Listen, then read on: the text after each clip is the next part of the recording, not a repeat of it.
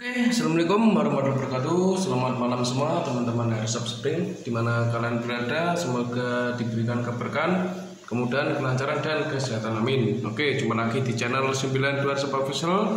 Sebelum saya mereview unit ini, saya ucapkan terima kasih kepada seluruh subscriber yang sudah mendukung channel ini. Oke, ini cuacanya baru hujan ya, ini ya. Ada di musim kemarau kalau di Jawa ya. Oke langsung saja. Ini sudah saya bongkarin ya. Sudah saya bongkarin biar menyingkat waktu. Ini tutorial pasang popor SIG 556 ke tag 9 Oke langsung saja. Kita lepas. Ini sekalian eh, bongkar ya. Kemarin ada yang patah soalnya tak buat terus nih. Enak akurasinya bagus ya. Nah ini cakep sekali. Mudah sekali ini bisa dipasang dan bisa dicopot dan sangat eh, apa ya kuat. Oke langsung kita lihat. Nah, ini pakai punyanya SIG 556 dan langsung saja kita bongkar dan lihat dalamnya. Oke.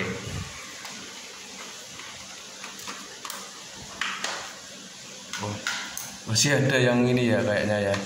Masih ada yang nyantol. Ini padahal sudah oke sebentar. Oh ini. Ya masih nyantol satu ternyata teman-teman. Mau dimaafin ya. Pak oke seperti ini dalamannya. Oke ini padahal saya pakai pernya itu ya. M790 kayaknya ya kemarin tuh. Kok masih wah rontok semua ya ternyata ya oke ini aja lentur sekali nih.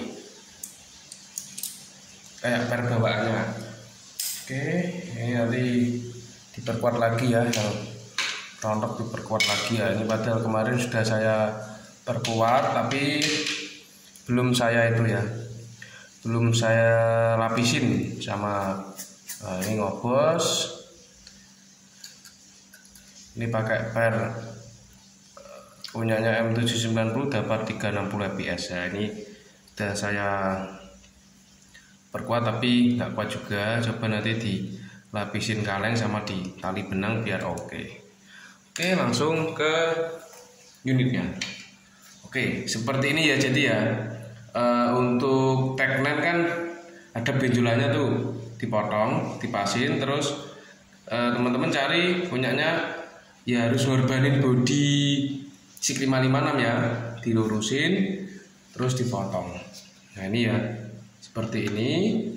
Terus diamplas begitu udah lurus dilem kalau nggak lurus nggak apa-apa. Misalkan ada uh, kelonggaran yang penting dilurusin terus dilem kalau udah dilem udah menyatu tinggal dipopok dalamnya dengan kapas. Nah ini kuat banget ya ini. Ini kuat banget. Uh, yang gini aja nanti takut jatuh. Nah ini ini kuat banget ya. Ini kan dipotong loh. Jadi nggak pakai baut satu korban lagi ya. Nah tapi ini cakep. Ini kelihatannya ini warnanya udah saya ribbon hitam top. Belum saya kasih pemberat. Jadi kalau di full upgrade total ya kenceng sih. Tapi saya kasihan unitnya. Dan apalagi kalau dibuat sukir atau sekirmis itu enak yang per standar atau per lentur-lentur kayak gini tuh enak ya. Dia cepet. Nah, kalau buat uh, power-poweran ya per keras tapi kalau dibuat main terus uh, unitnya akan kalah. Gitu ya. Oke. Bentar ini saya tahan. Nah ini sama ya. Nah sama. Ada kelebihannya satu. Oke ini inbarnya saya pakai 20 cm pergerak dan ada up nah ini kemarin waktu saya mau nembak patah jadi bibi masih nyumpel ini ada up dan hop upnya sekarang itu lagi error ya karena pakai uh, karet gelang. Jadi dia kalah. Ini rencananya nanti akan saya ganti dengan karet gas atau apa gitu ya.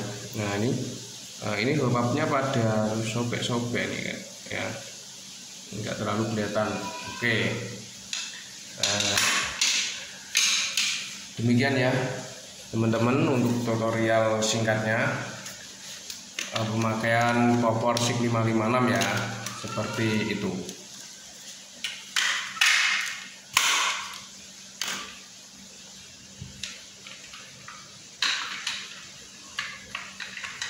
Ini tinggal giniin sudah bisa dipasang nih teman-teman. Nah kunci ya? Enak sekali ya kan? Nah oke. Lepas dulu. Oke. Terima kasih yang sudah menonton video ini.